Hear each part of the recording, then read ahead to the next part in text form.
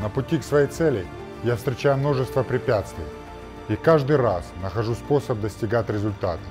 Даже когда испытания кажутся непосильными, и все говорят, что правильнее отступить, я иду вперед и всегда верю в победу. Я знаю, что Бог слышит меня. Я знаю, что Он любит меня. Я знаю, что только вера в Иисуса укрепляет дух и разрушает все преграды. Ведь если Господь за меня, то кто может быть против меня? Никогда не сдавайтесь.